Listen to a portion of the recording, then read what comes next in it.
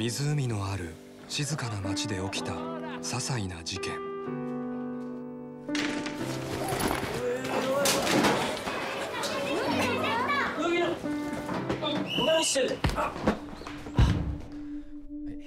それはよくある子供同士の喧嘩に見えた。ごめんなさい。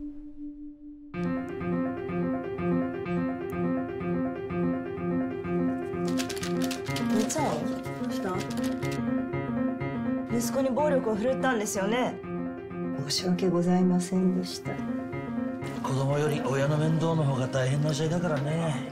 こんな学校がいる先生にこんな先生がいる学校に子供預けられないでしょ。麦野湊君は星川よりって子をいじめてるんですよ。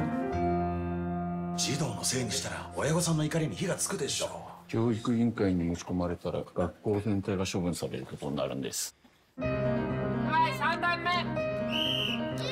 の子シングルマザーなんだ。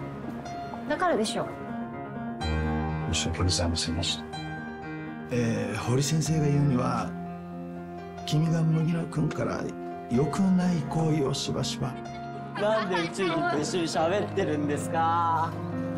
友達は友達だけど。みんなの前で話しかけないで。無実だって知ってるよね。それは分かってるよねわかわかわかってるよ。元気出して